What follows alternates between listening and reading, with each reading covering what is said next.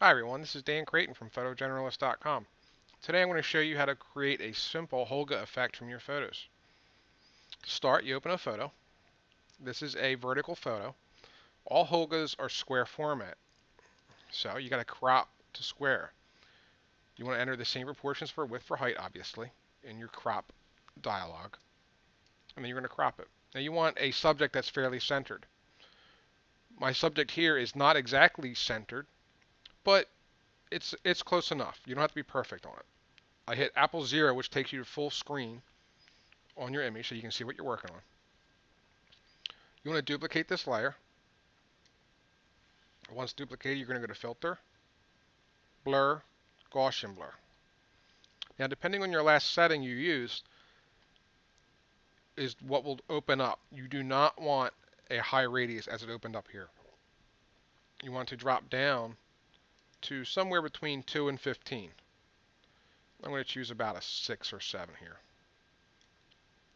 You just want the typical soft look of a plastic lens from a Holga. When you do this, everything will be softened, including the center. So we need to bring the sharpness back in the center. So we're going to choose the rectangular marquee tool. The elliptical marquee tool works just as well.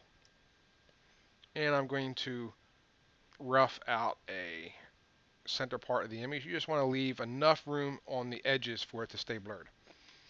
When that's done, you're going to hit Q, which takes you into quick mask mode. Quick mask allows you to see the effect of your filter. So I'm going to go to filter, blur, Gaussian blur again. And now as I adjust the radius, I'm going to go fully to the maximum. You can see how it fades off nicely. It blurs off. You hit OK.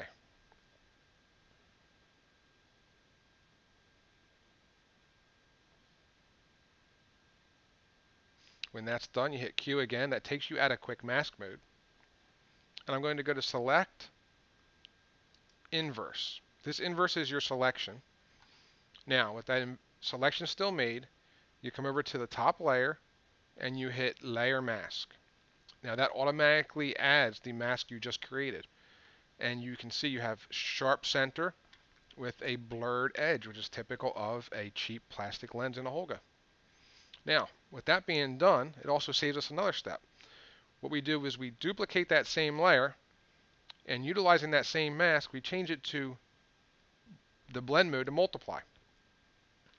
That automatically vignettes the edges.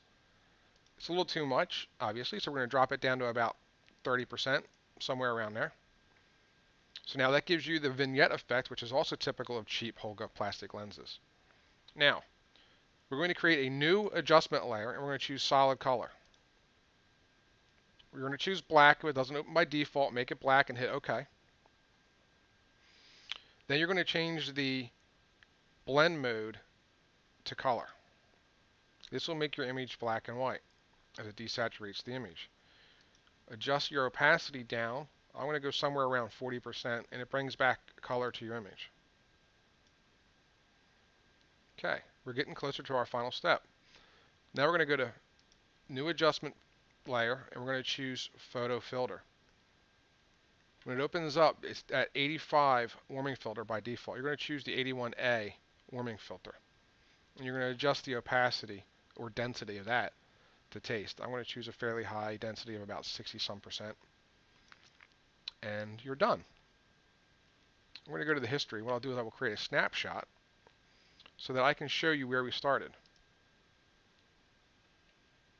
This is where we started. We cropped it.